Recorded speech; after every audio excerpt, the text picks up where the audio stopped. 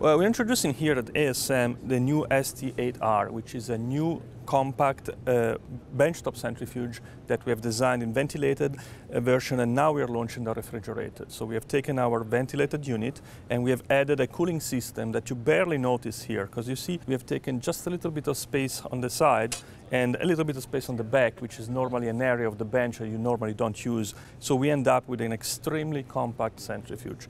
The look resembles a little bit the bigger sisters in the family, the big general purposes. So you find the same control panel, extremely uh, friendly, intuitive. You have control to every parameter in the run. You can change them over the run. You have programs, you have a pre-cooling system, you have a speed and g-force you can set, and also choice of acceleration and braking in soft ramps for delicate separations. But the big news of the unit is it's extremely compact outside, as you can see, but it's extremely generous inside because when you open it, the centrifugation chamber is pretty large. You can find inside a swing out rotor that makes the whole difference in terms of flexibility in this segment. So in the swing out, you can accommodate almost every tube you need in the lab, and it's available for speeds up to 4,000 Gs. You can also consider to expand the capacity of your conical tubes, a very popular tube by two with this special bucket. So imagine this unit is the most compact unit in the market that can run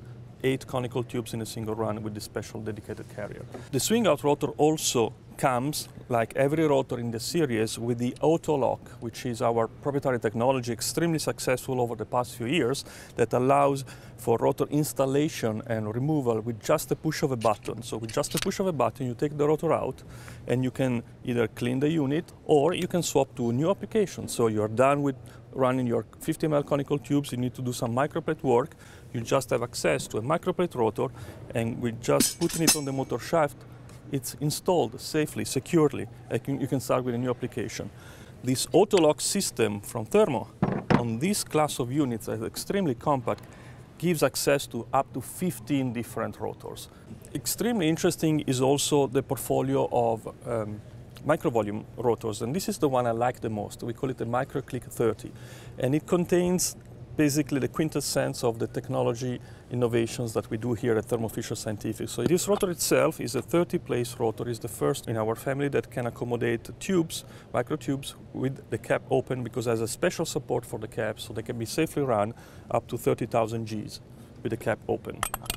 Also we have a new rotor for some new 5 ml conical tubes that have been recently launched. Also this one is equipped with a click seal is equipped with the auto lock, so it can be safely installed and removed with a click of a button, and also has the special support for the caps.